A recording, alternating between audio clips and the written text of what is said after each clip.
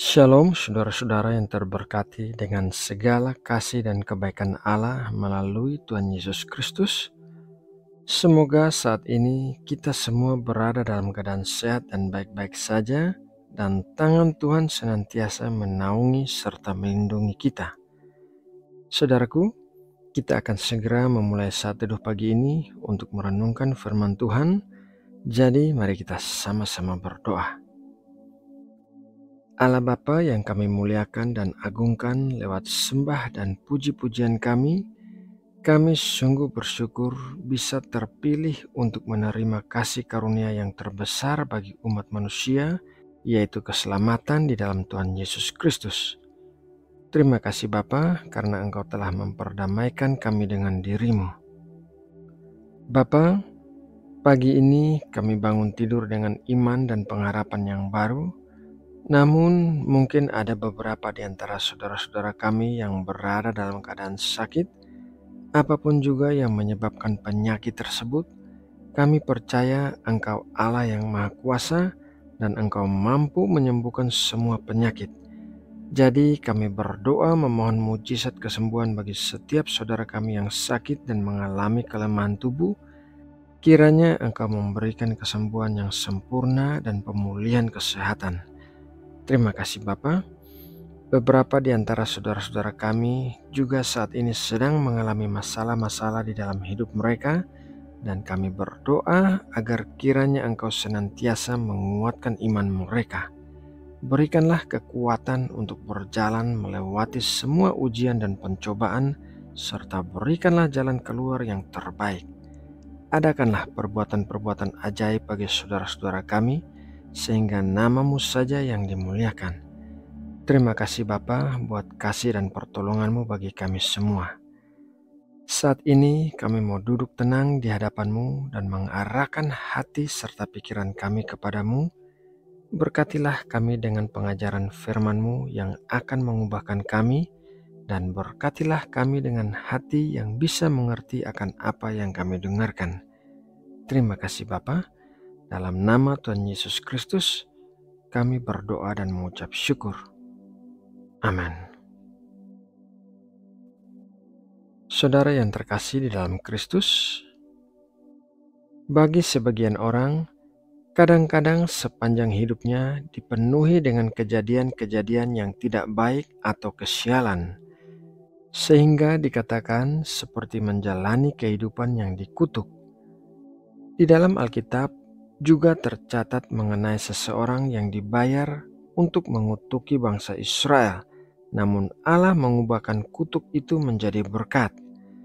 Mari kita baca dalam kitab Nehemia 13 ayat 1 sampai 2.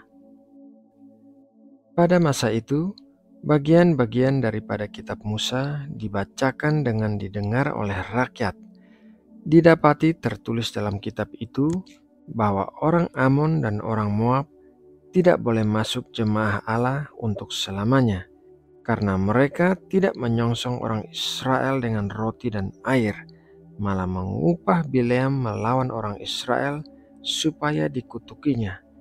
Tetapi Allah mengubah kutuk itu menjadi berkat.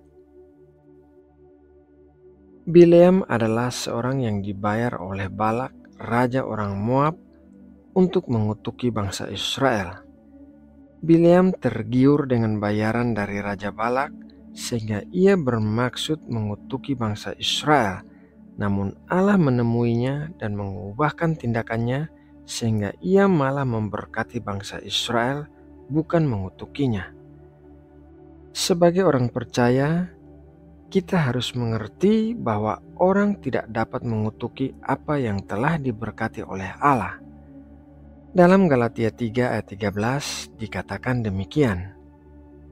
Kristus telah menebus kita dari kutuk hukum Taurat dengan jalan menjadi kutuk karena kita, sebab ada tertulis, terkutuklah orang yang digantung pada kayu salib. Tuhan Yesus telah mengambil kutuk dosa-dosa kita ke atas dirinya di kayu salib sehingga kita bisa diberkati kita harus sungguh-sungguh mempercayai apa yang dikatakan oleh firman Tuhan, sehingga firman Tuhan itu akan menjadi rema di dalam hidup kita. kita tidak boleh mempercayai kebohongan iblis bahwa hidup kita berada di bawah kutuk. Kembali kepada kisah Bileam yang bermaksud mengutuki bangsa Israel. Satu-satunya cara menggagalkan kutuk yang akan diucapkan oleh Bileam adalah campur tangan Allah. Begitu juga halnya dengan kutuk yang mengikat kita pada waktu kita belum diselamatkan.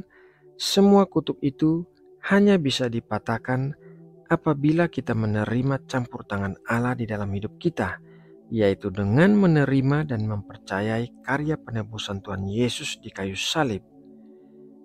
Firman Tuhan berkata dalam Yohanes 1 ayat 12, Tetapi semua orang yang menerimanya diberinya kuasa supaya menjadi anak-anak Allah, yaitu mereka yang percaya dalam namanya. Tanpa adanya tindakan menerima dan mempercayai karya penebusan Kristus di kayu salib, maka kita bukanlah keluarga Allah, dan dengan demikian maka kita masih terikat dengan kutuk-kutuk dosa akibat kejatuhan manusia. Nah, saudara yang terkasih di dalam Kristus, demikianlah renungan firman Tuhan pagi ini. Semoga kita semua senantiasa memiliki iman dan pengharapan yang kuat kepada Tuhan Yesus Kristus dan semua yang telah dilakukan Tuhan bagi kita. Mari kita berdoa untuk menutup renungan ini.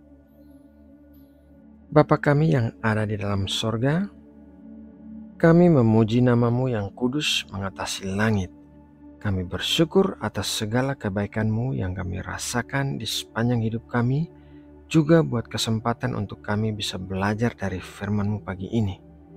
Ubahkanlah kami ya Bapa seturut kehendakmu, dan bentuklah kami seperti penjunan membentuk tanah liat, dan jadikanlah kami bejana-bejana yang layak untuk menampung kemuliaan-Mu.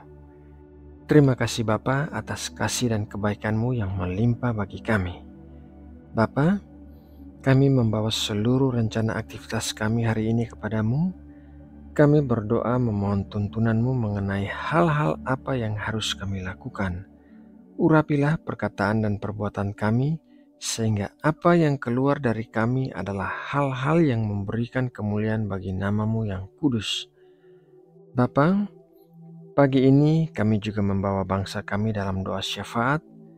Kami berdiri bagi bangsa kami dan memohon belas kasihanmu bagi jiwa-jiwa di Indonesia. Kami juga memohon kesejahteraan dan keamanan bagi negeri kami. Kiranya Engkau memberkati Indonesia dengan berkat-berkat yang terbaik. Terima kasih Bapa. Dalam nama Tuhan Yesus Kristus, kami berdoa dan mengucap syukur. Amin.